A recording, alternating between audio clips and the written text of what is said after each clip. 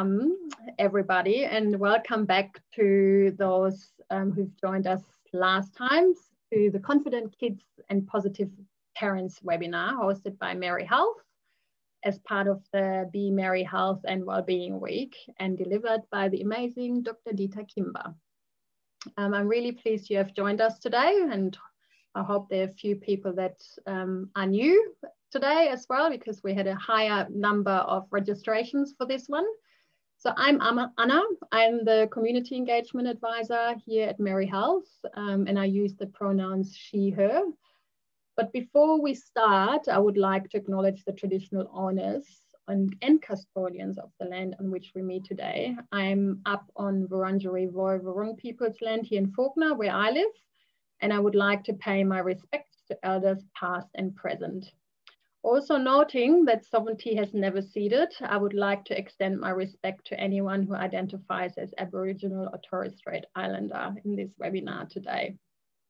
And those who were there on Monday, the beauty of online meetings, and I like to do that for all my online meetings um, or webinars in this case, is that we cut across different regions. So I would like to invite you to um, acknowledge the tra traditional owners of the land you sit on today. And you can use the chat function for that, please.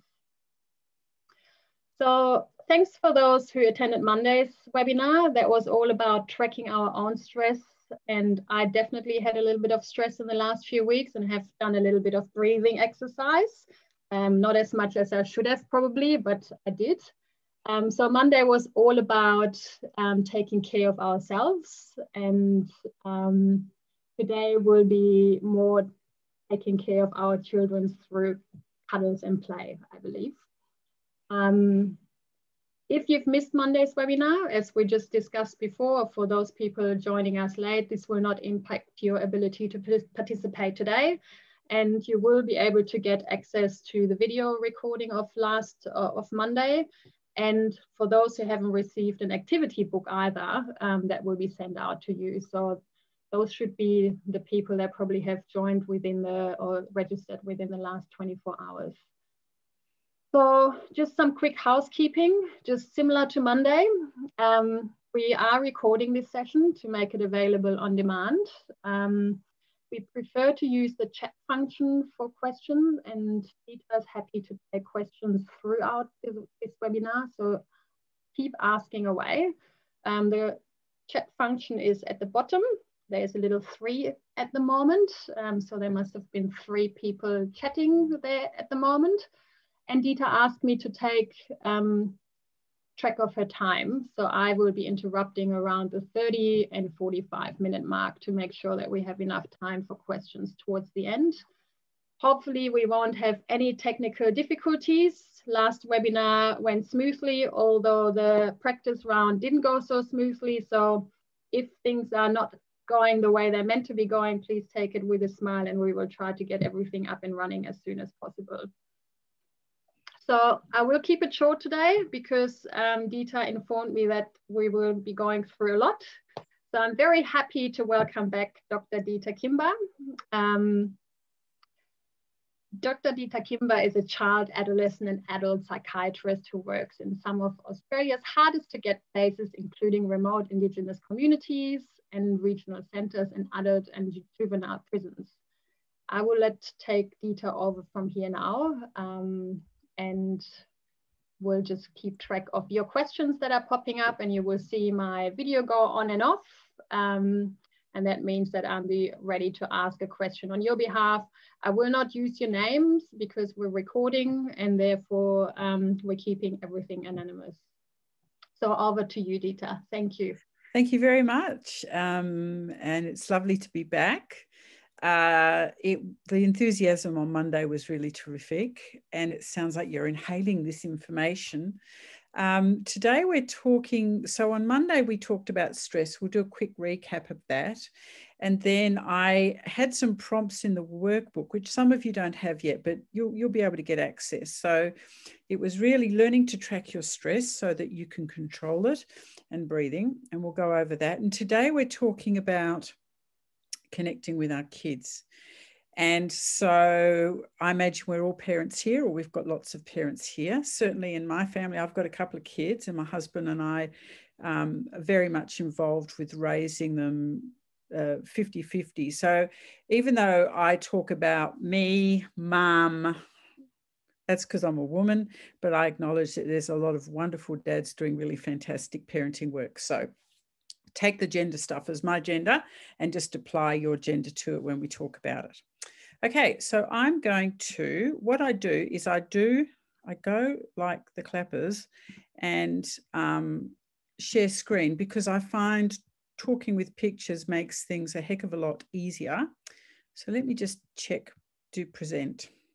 Okay, so talk one was talking about stress and how can we track it so we can be relaxed. And so day one, it was I talked about me getting stressed and how could I recognize my own signature signs. And so we came up with seven things, which is what do I feel or do that tells me I'm stressed? What do I think that tells me I'm stressed? What are the common triggers? Um, breathing, to calm down? How do I feel safe to calm down? And then when I'm thinking better, how do I fix the problem that triggered me? And next time, is there a physical warning sign that I can notice that um, I can kind of take track of. Now, the reason we're looking for these physical warning signs is it's natural when we get stressed that we go from being aware of ourselves to aware of the problem. And so we lose that ability to catch ourselves getting stressed until the horse is kind of bolted. So here's my stress response pattern. The first thing I do and feel when I was talking about it last night is I start sort of running around like a headless chook and I feel very worried. The kind of things I think are very negative, like you shit, you'll stuff up, excuse my language, and my focus scatters. So that's evidence that my brain's turned off.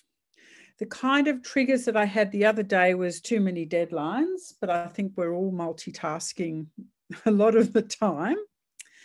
And so the breathing that would bring me down was four counts in, six counts out, so that we're hacking into the nervous system and the braking system, the parasympathetic nervous system.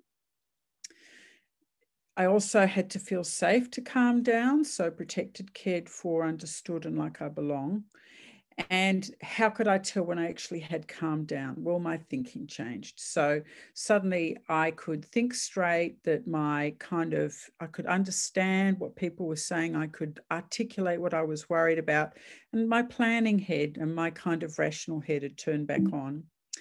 And finally, whoops, finally, um, what were the signs? Well, when I when I get very stressed, I'm like this but if I walk it back just before that, I get quite irritable. And before that, the first sign that I'm not happy, Jan, is probably getting a bit restless. Now, as you start to get better at tracking your stress, initially we catch the 10 out of 10 stress, but I want you to start noticing what happened just before that and start walking it back so we can not only catch the late signs of stress, but catch the um, middle and even the early signs of stress so that we're bringing it down. Why do we want to bring it down? Well, uh, anxiety and stress is paralyzing. It turns our head off and we lose our best weapon. And so, what I want you to do is to be calm. So, whatever it was that overloaded you, you've got your best brain working and you can fix it. And so uh, for day two it was breathing and heart rate. And so i suggested that you download some breathing apps that you practice diaphragmatic breathing that you get your heart rate down and you could go to the website. This is all in the booklet if you haven't got it. And then we talked about resonant frequency breathing. So these this is the optimal breathing to calm your nervous system as quickly as possible there was also a chakra breathing meditation. So, just to recap on the breathing, this is the recipe or the prescription if you really want to calm your nervous system. So, six breaths a minute. So, that's 10 seconds of breath, four counts in, six counts out do it for six minutes. So that's really how long it takes to do a full on reset from a 10 out of 10 freak out. Now, if you're just getting a bit nervous, you can probably bring it down a lot faster. But if we know the outbound sort of um, level, so I'm hoping that you tried this on day two. And why? Because it gives you control, doesn't it? And once we got control, then we're master of our own destiny somewhat. Okay, now I have to interrupt this broadcast for a rant. And the rant is about multitasking anxiety. Whether you're a man or woman, if you find the reason you're getting anxious is because you're doing a gazillion things, then I want you to double check why. Who else?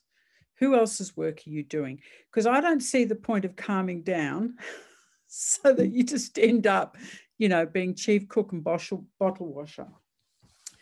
And um, for me, um, my journey with multitasking is, you know, this sort of baked in idea that if you're humble and pure of heart and work your fingers to the bone, you will get rewarded. And um, my answer to that is, um, hang on, sorry, here we go. Um, so, who's the scam artist that takes the credit for all the work I do? And I don't find I get rewarded when I'm doing all the extra work that everyone else is putting on me. So they wander around and say, if you want something done, ask a busy person. And then they come and ask me. And the, the minute I'm not useful, I get discarded. So no one, you never get credit for it or, you know, working credits or any kind of uh, help for that. And that's me working in the hospital system, you know, all the times you stay late and everything like that with, you know, fretting that the kids are back home. If you are getting chronically anxious because you are multitasking because someone else is not doing it, um, then watch out because if you do it for years and years, you end up like a bit of an empty shell of the person you were, and that's not good for anyone. Okay, so I would like to suggest instead of Cinderella, a new role model. Okay, so that's Lizzo. She's my new role model. But if you're a bloke, find your favorite one too. But it's about saying, back yourself, you know, learn to say no if you're getting swamped and say yes to yourself. Because if you go down, the whole ship goes down and learn to delegate well. Now, unfortunately, I haven't learned how to do this yet, but I live in hope, even at 56. So, you want to save your magic for the ones that you really care about. And the ones that I really care about are my kids. Okay, end of rant. So, do we have any? I'll just start Oops, I'll stop sharing for a second. Do we have any comments? Does anyone find themselves uh, feeling like they're multitasking sort of themselves into an absolute kind of level of distress? And um, please take heart from that. And I think we should all go and do a delegating course together. All right, share screen again. Let's press on, people. Um, here, share. There we go. Okay. So that's my little rant. We talked about day one and day two. Now let's talk about day three. So, day three was about if we go into survival mode, if we get stressed and go into survival mode, fight, flight, or freeze, as a mammal, as a mammalian animal, it doesn't make sense for us to come out of survival mode and calm down if we don't feel safe. But you know, we're people that live with other people. It's not just a custodial safety. And we need to feel safe four ways, and that includes an attachment safety. And so the four ingredients of feeling safe are protected, cared for, understood, and like we belong. So it might you know, if if the person that was sort of humiliating you or upsetting you or the situation that was overloading you, you know, you get away from it. That might you might feel protected from it, but you still need to connect with the people and feel cared for. You you need to uh, be understood and understand yourself, and you need to feel like you can belong. And so I always pray see that as sort of four hearts. And really, once we feel safe, we're sort of a lot more secure. And again, this helps us think straight. Um, so I've already spoken about that. Now, in the workbook, we, we started thinking about, well, what is that? Oh, hang on, we're going on to day four. What was day four? Well, now we want to take these ideas. We want to take these ideas of how tracking stress, of uh, being able to breathe and being able to feel safe and say, well, how does that apply to our kids? And so if we can't control our own stress, how can we teach it to our kids? If we never got taught stress regulation, how do we know how to parent in an unstressed, unreactive way? And so, this is why I always bang on about let's master it in ourselves first, because then we get a, a, really embodied sense of stress regulation. And then we can teach it because we know it in our bones, just like we know what it's like to start riding a bike. And so, if we're now thinking about our kids, like my kids are certainly finishing secondary school, but we need to um, teach our kids all the way along. So, preschool, primary school, and secondary school. So, we'll talk a little bit about that. Okay, so this is where we come to connection, and you're going to see the link with stress and connection in a minute. But I want to expand on survival mode now. So on Monday, and this is the hardcore science we're doing, then we'll chill, chill a bit. On Monday, we talked about survival mode. So we knew about fight and flight, where you either feel angry or you feel scared. And that um, when we'll, we might see that in our kids too. And that we can also shut down to freeze where we feel more numb or empty or not there. But the big thing is that when we are in fight or flight, our brain's turned off and the whole reason is this is an automatic hijack to make us stay alive to fight another day. But you know what? We're a pack animal. And so we don't just have one nervous system, we actually have two. So the second nervous system is the social engagement system. But we have to feel safe in order to engage with people. And just like we've got this sort of high energy version of fight and flight, or this shutdown sort of quiet version of, of freeze, in the social engagement system, we can either be calm and chill and be nurturing, or in the high energy version, we can sort of be happy and play. And this is where we heal and learn. And this is where our brain is turned on and we have language. So we can play together and we can communicate and we can teach our kids and we can help them feel secure. So we, we've really worked this system and now we're going to think about this system. And the hardwired lever between the two systems is the breathing and the feeling safe. Okay, so here we've got three scenarios. We've got our stressed kid. We've got the kid that we're cuddling and we've got the child that's playing. And this is where we build connection. So when when our child is young, they can't regulate their stress. We have to regulate it for them. But if we do a good, good job, then this is where they learn self-control. With the cuddles, this is the quiet time and the social engagement. This is the closeness. This is where our child becomes secure. And with the play, this is where they become confident. And really, you know, whether it's sort of your puppies playing or whether it's your kids playing or it's a horse frolicking in the paddock on a spring day, play is where we kind of um, we experiment with our body and we experiment being with others and we experiment with our imagination. And so, really, it's a natural form of growing. And we make mistakes, but they're play mistakes. And, and we sort of um, try out different versions of ourselves. So, if we are connecting with our kids through all of these three states, so the survival mode state, where we show them how to get control back, the cuddly state where we give them a sense of security and belonging, and the play state where we sort of support them discovering the world and who they are, then this is where we increase our child's control, their sense of security, and their confidence. It's as simple as that. Now, we'll start with this first. This is where, if we've got a kid that's a bit anxious, or if we um, have a kid that is sort of a bit insecure, it's the stress and the connecting with the stress and the cuddles that helps them heal. And it's through the play that they become confident. Okay, now obviously my graphics are very gender oriented. So I've added in some board shorts for the dads. Stress or for the mums who like board shorts, and I'm one of them. Okay. Now, with stress, kids will get stressed because it's too much or it's too hard or they're too tired, but they're not coping. Because kids aren't born from an egg, they're born from us.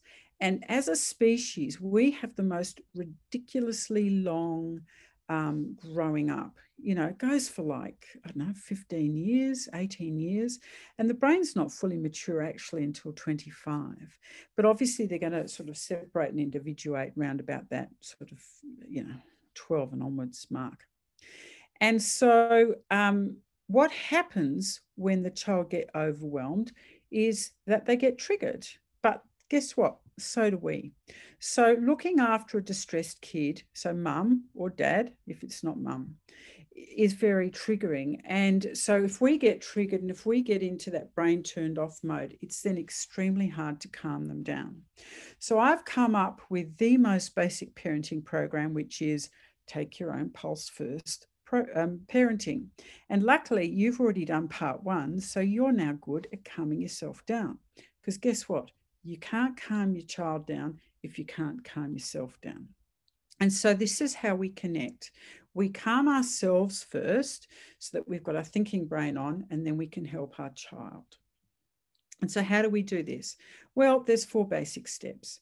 The first we learned on week one, which is you have to learn to track that you're getting stressed. Otherwise, the mouth runs away and all the damage is done. And once you track that you're stressed, you regulate in. And when you regulate in, brain turns on, impulsivity and emotionality subsides. And then we can we can fix the problem and then we can help help them belong. Now, here's the interesting thing. When, even though we've turned our brain on because we've regulated in, our child will not have a brain turned on. So, how do we communicate with them, especially if they're lying like this in the supermarket next to the, the chocolate um, aisle? Well, they're in animal mode. So even though we're communicating with words and they're not really understanding them, they're still understanding our face, the music of our voice, and our body language. So if we're like that, and if we're kind of really frustrated, they're going to sort of read that. Whereas if we're, come on, come on, it's time to settle down. I know, I know you're getting really frustrated. So soft face, soft voice, soft body language even in that dysregulated survival mode state, that they are going to sort of read that communication that everything is all right and that we're going to help them.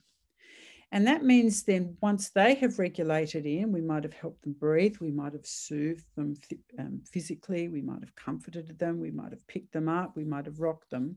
We're not going to, once they are calm, then we're going to fix the problem.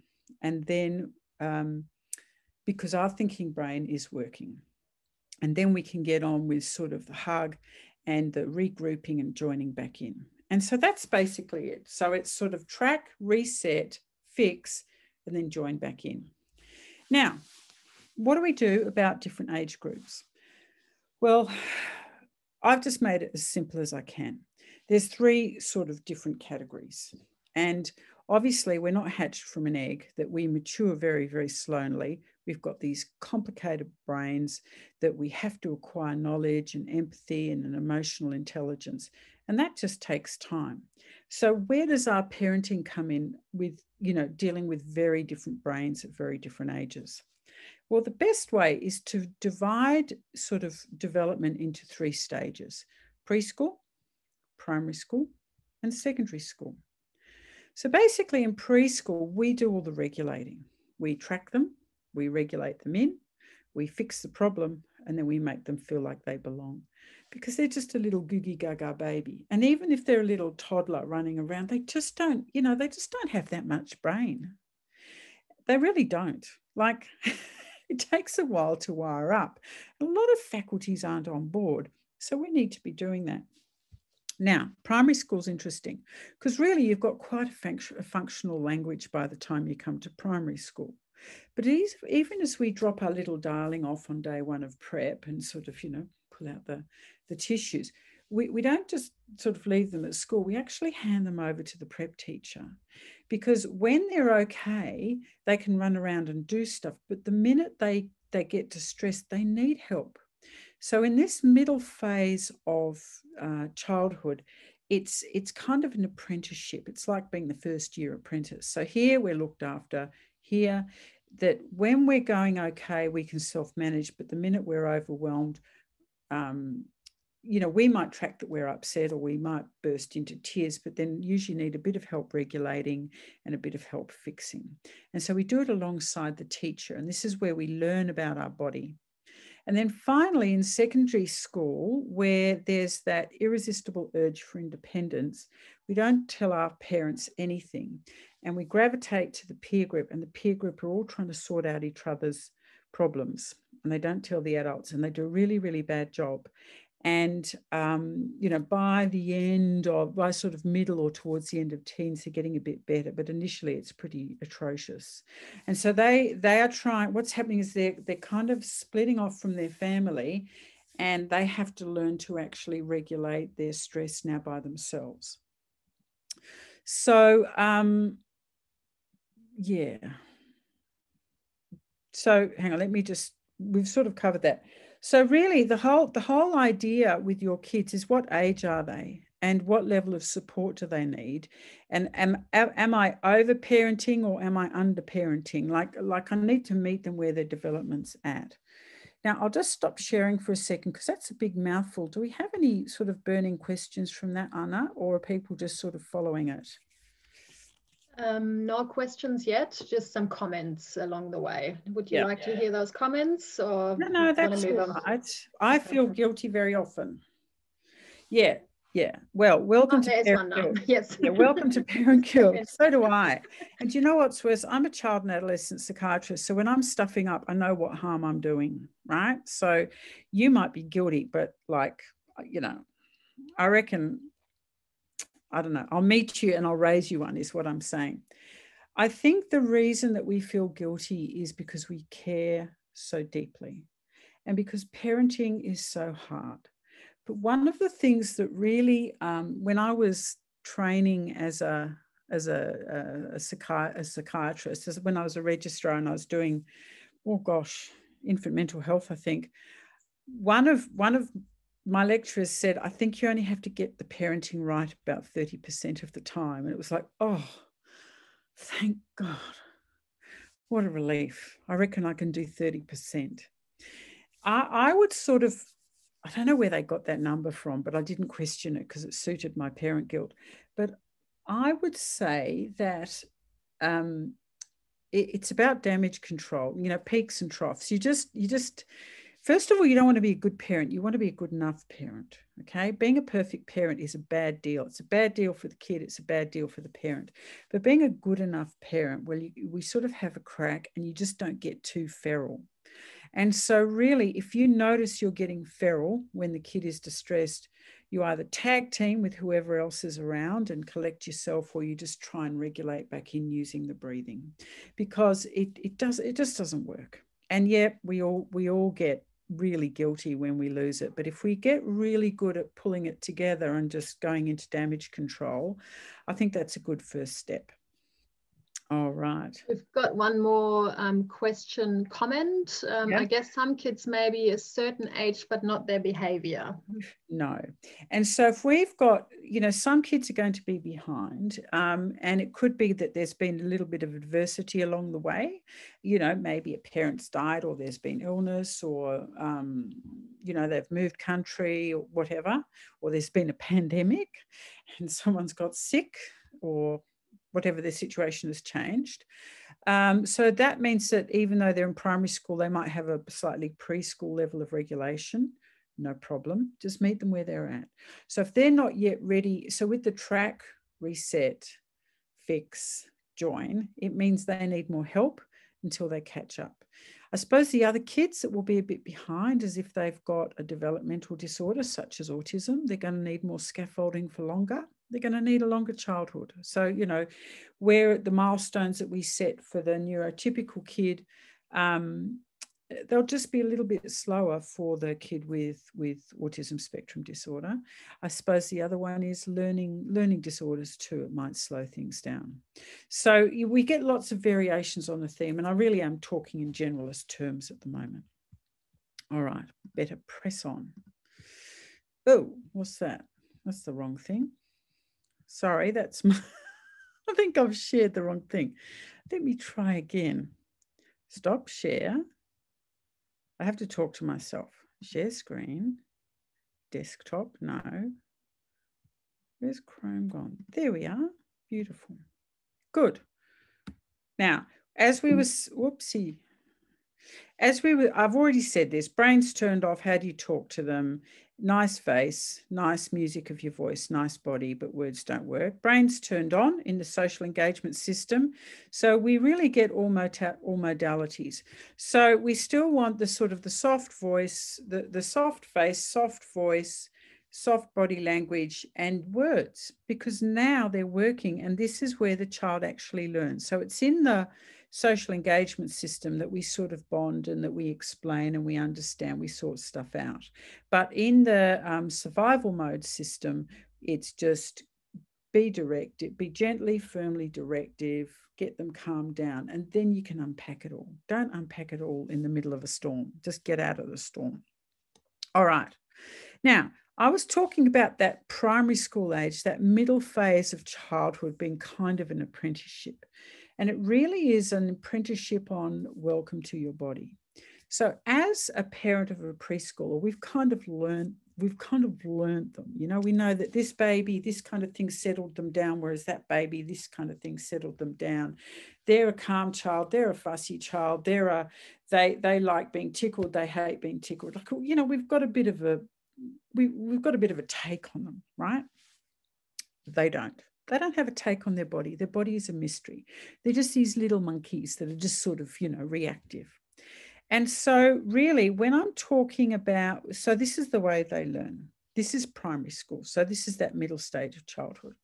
So, they'll come in kind of like, like that, and we'll go, Oh, you're not looking very happy. You look a bit frustrated. I wonder if you're not feeling right. So, what happens is little Johnny or Johnine comes in like the sort of feeling feeling like this and doesn't know what this is but you know they feel it. They're engulfed by the feeling.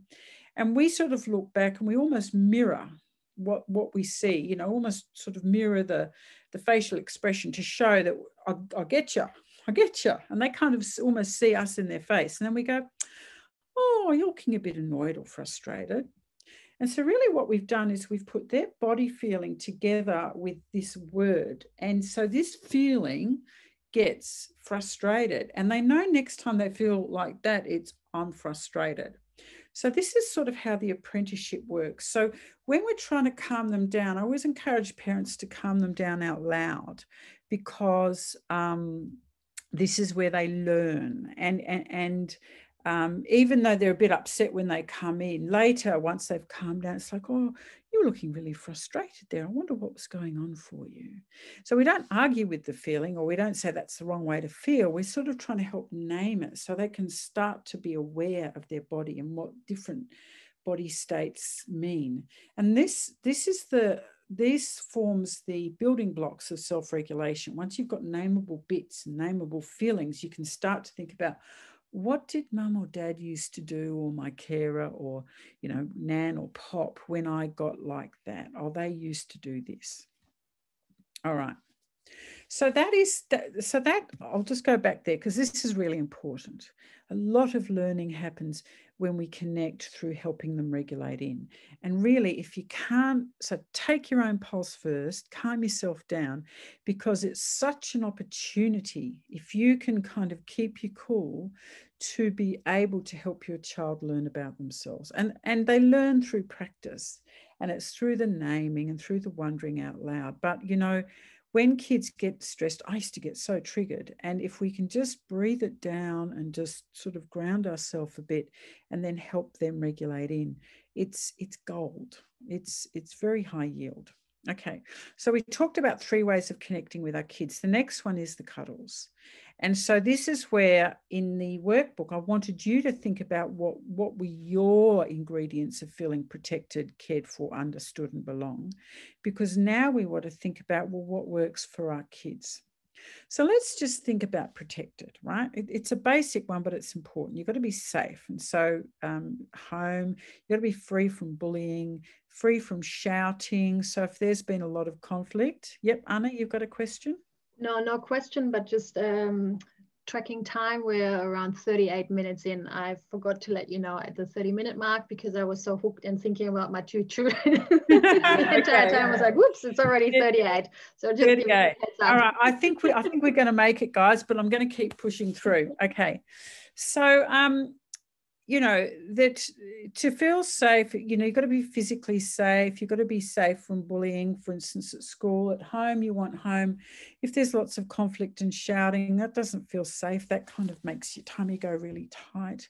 Um, and safe from people being rough with you okay? So that that that's what the idea of being protected would be if we're thinking about cared for, that's really fed and watered and sort of warm and, and not too hot if you're in the Kimberley and not too cold if you're here in the Macedon Ranges feeling soothed, like someone's settled you down, they've rubbed your back, they've put you on their shoulder and given you a pat. So that's sort of cared for and cuddled. I mean, we're built for pressure, we're built for feeling held and just feeling that sort of connection. And you know, you like you basically lay your child across your heart, don't you? And you hold them to your heart, and they can feel your heartbeat, and you can feel their little heartbeat. And it's about giving that sense of felt and lived security.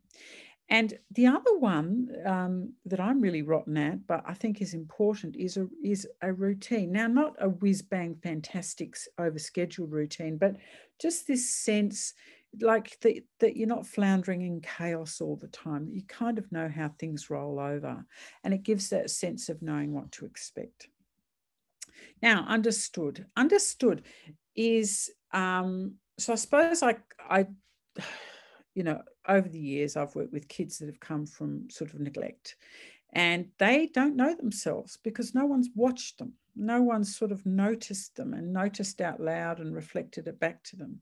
No one's explained to them what makes them tick. Like kids are a mystery to themselves, and you almost explain them to them, them as you understand them out loud and sort of be interested in them, you know, that, oh, what you think and what you do is interesting. And finally, belong. Well, your face has got a smile when they walk in the room. You know, how was your day? Even if they go, no, whatever, you know, when the teenagers start grunting, you still got to smile. That's your job, right? You still got to be happy to see them. And they can be all grumpy and hormonal and, and kind of adolescent, but that's their job. Deeta, um, a comment that is almost a question. The way I regulate my 10 year old is I find always giving in to him and that's not good in the long run and now he's so spoiled. Yeah well giving giving in to him uh, giving him what is one yeah that's a that, that's a tricky one. I might try and get to it's not that tricky. It's like giving in to him is not necessarily giving him the opportunity to learn to be disappointed and then lose it and then calm down. But if you're very calm and you're not panicked about, well, you know, we can't have lollies every day, or I can't buy you the, you know, the Nintendo doozy, whatever, every time, and then they get really upset and really disappointed. I mean, the way we can help them is just be very calm, not panicky, and say, well, it's disappointing, isn't it? You know, we can't always have what we want. And sometimes we've got to be patient and they'll be angry and they'll whatever. Well, now it's time to calm down. And when you calm down, I can give you a bit of a hug and we'll, we'll you know, we'll talk about it. But it's about learning to sit with disappointment or, um, you know, and if we're seeing anger and rage, well, that's survival mode, isn't it? And so it's about breathing them down and just holding your ground and being very still and calm. And I think if, if, if they're able to sort of trigger us into action with their survival mode behavior, it almost um, it perpetuates it. But if we're just able to roll with it and calm and center ourselves and just be very realistic about it, it's like, well, you know, we all get disappointed. That's okay. But now it's time to calm down. And when you're ready, I'll give you a hand. Okay. And and so really it's just just I think that one would come back to giving in is are you getting triggered? and do we really need to work on sort of that permission system in yourself and that kind of confidence and backing yourself you know that no no like just because he's angry and upset doesn't mean i give in and if i'm getting quite triggered then maybe i need to really work on just being centered and that there needs to be some consistent parenting with you know whoever else is in the household yep and so belong is also joining in and playing together Okay, so that's a lot, but that's important. Now, um, day five is talking about play, so 20 minutes a week. And this is how we uh, help build confidence in our children. And now I am aware of the time. I've got about 10 minutes to talk about this, I would say, but I reckon we can do it. I'm going to push through. Is that okay? So can I ask a quick question? Yeah. Um, so it's 20 minutes a week? Yes. All right. Because I heard you say do this it. I was like, wow, this is absolutely doable. yeah, yeah, yeah, yeah. Let me explain. Okay, so we've talked about that, and this is how we grow in confidence. So, when I'm talking about 20 minutes a week, this is child centered play therapy. And so it's not any play like, oh, yeah, all I have to do is push you on the swings for 20 minutes a week, check my phone, everything's fine, done, tick. It's about saying we're going to have a little special time together where I I enter your play space and I you have my undivided attention. And it doesn't have to be the only time, but if you're feeling a bit disconnected or if you're feeling a bit, you know, that, that things can't happen, it's a lovely way to sort of build this connection. Let me explain. So there's lots of different, I'm talking about creative play here. And yes, we can have sort of swings and drawing, and we can have building things in the sand. And they're all sort of a form of creative play. And so I want to first think about the play space and how we play, and then what we do. So when when we enter a child's play space because i sort of i don't know no one ever played with me and so um, i found playing with kids really boring I don't now, but I used to. And no one ever kind of played with me. There was always stuff going on. And so we were either left to our own de- devices. So I actually didn't even have a template. But when we think about a child's play, there's a couple of there's a couple of th- ideas that I want to share with you. The first is that that that a child's play it's their game, and so we're not there to teach them or instruct them. We're not there to take over. It's like we're a guest in their house. So if we're invited to someone's house, we wouldn't sort of take over the dinner and tell them that they're wrong. We'd, we'd be a guest and we'd listen and attend and, and sort of you know, um, be respectful. And so when we do this play in a child's play space, we have to be respectful. It's their house, it's their playhouse, and, and we're there to be a big fan, which means we turn our phone off. We wouldn't sit in the guest, we wouldn't, you know, and um, we don't teach them or correct them or edit. Yeah. Deeta, so, one more question. Is this yeah? 20 minutes each child or can it be all together? Each child. They need their one to one special time. They really do, because it's how you get to know them. And so, um, how does that build confidence? Well, it builds confidence um, because when they're playing and you're there, they're kind of telling a story. And usually they're the hero of the story, either Bank Crash Wallop, or they're the artist in residence, or they're the amazing sports star. And so they get to be a hero of their own movie but the best bit is that the they get to be hero in in front of the most important person in the world and that's you. They get to shine right? So in terms of building confidence if you're there and if you're really kind of tuning into what they're doing and just appreciative of it they're shining. It's really good for kids to shine and for you to see them shine now, sometimes it's bang crash wallop or it's play that you don't like. Um, and, you know, like a lot often when I sit down with kids and, you know, like they're kind of murdering people and knifing them to death. But this is an adventure story that they're they're telling. It's not them. It doesn't mean they're going to be a psychopath. You know, it's just like you know, you turn on any show on TV and it's all violence and, kind of awful. So, you know, if they're telling this dramatic story, they're telling a story about their fears and, or they're telling an action adventure. So we're there to watch and understand where their head's at and not get all paranoid and think that they're kind of, you know, psychopaths because fear is part of a child's life. And so when we sort of see where their head's at, we see the little person there, we can kind of remember instead of just being busy multitasking, the bane of um, all of our lives, I would like to think, um, we get to see this little person trying to make sense of the world. and we we see where their head's at because we follow their story. So if you think about it, if you decide to have a potter or a play or something like that, you start off by having a bit of fun and you tell a bit of a story, and then it gets to the hard bit. And then that's the problem. And then you have to be a bigger person, or you have to solve the problem, or you have to have superpowers. And that's how you make it better. And this is sort of the learning bit. This is where kids figure stuff out. And it's where we as grown ups figure stuff out. And then you win, right? You're the best. And so the child's sitting there working stuff out through this representational play. And you're not allowed to sit there and get paranoid, right? And sort of, they're just playing. And we watch and we understand them better. It's like, oh, you're dealing with this at the moment. Oh, you're interested in that at the moment. You know, we might not share the interest, but we can show respect. And so, really, our job is to be the voiceover or the narrator. That shows that we're actually watching. And, and it also helps them understand what they're saying. It's like, oh, so he's trying to climb the mountain. It's getting really hard. Wow. And oh, so then the monster's coming. Oh, sounds scary. Don't like the sound of that. I hope he's going to be all right. And so, as we're kind of narrating the story, um, we're sort of narrating the problem and how how maybe that this person in the play story is feeling, and how they work out how to make it better or not. I mean, sometimes it's just bang crash wallop and they're smashing cars together, and that's fun. It's like, oh, it looks like it's fun smashing those cars together. I reckon they're getting all smashed up. And so, but at the same time, we can reflect on, you know, maybe this is sort of reflecting how they're feeling at the moment, or maybe they're just having fun smashing cars.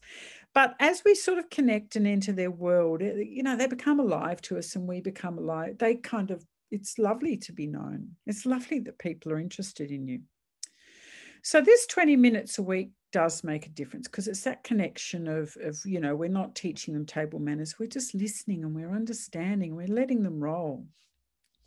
And so here's the précis of it here. And this is how we do it. It's the first of all, take your own pulse first. So you've got to be calm, have your phone off, and sort of be ready to focus. It's got to be your special time the mm. next thing is that you need to help the child get going. So usually it's nice to set up, you know, have your little special place or a special time or special activity, but it's child led. And so it's watch with interest as they sort of get going. They might start here and start there and take a bit of time to warm up, just like we do when we start pottering, but then they get into it. And so you just use your quiet voice to say, oh, yeah, that looks good. Oh, what about this? Oh, yeah. And we're just trying to help them get going, but we're not interfering. We're not doing it for them. We're not doing it with them per se. We're, we're supporting them do it and get, and get in a rhythm. And then we sort of want to help keep them going and just sort of facilitate them have that kind of play. And as we do it again, be the narrator, comment with interest, and then tell a great story about it. So if it actually did have a narrative arc, so it was actually a little adventure that they played, you can say, well, that was interesting, wasn't it? Looked like this and that, and he was worried about that, and then it all sorted out in the end. Or, gosh, you've made these beautiful things. You know, look at the flowers, and it's got all the detail, and and eh, you know that must make you very happy, sort of doing such lovely drawings. Whatever. It, it's that we're showing that we're attending and we're sort of we, we're doing this lovely commentary to show that we're connecting with what they're offering up to the world in their beautiful, innocent, confused, kind of pigeon toed kind of a way. And so, really, 20 minutes a week, and it, it, it does build, and it is their special time. Now, we do this with quite stressed kids, and um, we'll find that in the initial phase, it's quite bang crash wallop and disorganized, or it might be, you know, a lot of lying down and just sort of hiding and things like that. So quite a regressed game, young for their age. But as they get to enjoy and inhabit their place space, things get worked out and they kind of get happier and it gets more organized. So that that's in the in the therapy context. Don't you worry about that this is just in that having this lovely connection moment in in the house where it's not about chores it's not about jobs it's not about learning it's not about readers it's about play and being together and being being a guest in their house and being a lovely supportive appreciative guest where they get to shine. Now i think i'll stop there Yep. Can I quickly interrupt? There's one question, and also keeping you tr on track of time. It's Yes. um, we've got around seven minutes left for today, and I've got one question. Um, is this 20 minute play working for older kids, teens? How to play with them? Ah, yes. Well, Uh, well. coming up. no, look, I'll just talk about that because I've thrown, I've, you know, I could go on for hours because, you know, it's what I do, right? But let's think about teens. So, first of all, teens want to show us that uh, they don't care, that we're really boring, but really, they they they want us to be interested in them, even if they want to tell us that we're real dags, right? You know, and so um, it, it's about it's it can be a bit hard to catch that moment and they won't necessarily want to do it as their thing. And often we've got to work a bit harder to meet them where they are. And especially if they're infuriating us like the take your own pulse first kind of bit with teens is really hard. Um, and so if they're animated about something like we in our household we're having an awful lot of discussions about k-pop. And i don't like k-pop but i'm interested I'm interested. I've got my favorites. And um, because it's sharing their world, and you know, they're latching onto this or they're latching onto that because it's meaningful to them. And so, if we actually get this this moment where they're expanding and they're not grunting and kind of ignoring us, connect with it. And it's about showing interest. So, so it, it might not be play so much. It might be um, you know, conversation. But it's again go, going into their world and their interest. And I guess we play in our imagination. Now that doesn't have to be the only way. It can it can also be that there might be some activities that you actually enjoy together. Um, so if you've got a very grumpy um, daughter or son, there might actually be some high yield activities that you both actually like so you can tolerate being with each other. You know whether it's going and doing a yoga class together or just going shopping it's enjoying it's fun shopping for this or going and watching watching them play sport and then you know asking about the game and what do you reckon what do you think? Just just just meet but it the whole idea of play is meeting them where they're at and being interested in what they're doing and just again not not teaching not correcting just just sort of uh, supporting their world and their understanding. A, a, very good place to do it is often in the car. Like I know with my son, I would have more exchange of, of high value information driving him to the train station than the whole weekend when he'd been watching YouTube or, you know, whatever up all night on on um, Steam or you know one of the on Discord playing games. You know nothing common there, but on the way to the on the way driving him to the train station when I'm sitting there and there's no eye contact and he's sitting there and nicely distracted, suddenly you get this expansive moment in the car and go with it. It's about again being interested in what they have to say and just sort of creating that space to connect. Yeah. Any other questions? Because, yes, I'm noting the time. No questions so far, but I've got a question. So yep. um, you've referred to multitasking and um, different age group kids. And I have a toddler and I have a primary school kid, age kid, and I feel like I'm multitasking just between managing their behaviors constantly, like yep. being, you know, supporting the apprentice and then having a very fierce um, toddler that needs to stand his ground um, constantly. Um, yeah. How do I manage between, you know, constantly switching as a parent? Have you got? Um, well, I, th- I think first of all, not setting your setting your standards too high. Yeah. like yeah. Already failing. you, you know, you know how the, your toddler, their brains like that big, you know, and they're just going to scream and carry on like a pork chop, and it, it just they've just got to grow out of it, and it's exasperating. It's exasperating right? It's so triggering it's so raw. You you can't be perfect you just got to roll with it and have some pretty mediocre standards. Or just be consistent and loving and just try and bring your own stress down. So number one take the pressure off because like toddlers are so stressful. And you know if you've got a bit of a tag team you know when you're really like oh cooked um use it. Yeah. With with a primary school kid, like you got six years to get it right. So don't again take the pressure off. You know? yeah. You got six years, right? And if you're sort of nice and and kind of you just you, it just doesn't have to be perfect in every interaction. It's just got to be kind of okay. And like you're a big fan, you know, you love them. And so there's this whole thing, and school can perpetuate it a bit. Like if I don't do my reader every night, I'm going to fail HSC or VCE, you know. it's like, you know, you're in yeah. prep, yeah. but if you don't yeah. do it, you're going to get behind. It's like, no, like, come on. by the time they get to year 12, they would have changed the school system anyway. If you've got a bright, interested, happy kid, and they do have ups and downs, like just take the pressure off because they learn so much from play. They learn so much from sport. They learn so much from being creative. And yes, they learn from school too. And that, you know, if you're a decent human being with a, they learn from you because you're a decent human being. Well, no, I, am only half decent. that's pretty good. And uh, you know, a couple like, of um, comments before because I'm mindful of the time. Yeah. Um, it is so I've got one person saying it is a struggle to give them one on one. My girls are two, three, and four. You're already a hero to me.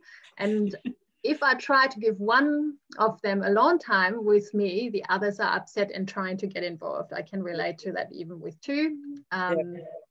And you might, then, you might need yeah. backup and you might need to get out of the house. Mm, and, and the house. maybe maybe your play is a creative like like I mean I know no one could with COVID, but you know we're grateful for small mercies now, aren't we? You can actually get out of the house, but um, you know it it might be that you know, sometimes you can do it as a job lot and you, you sit down and there's a lovely game and you're appreciating both.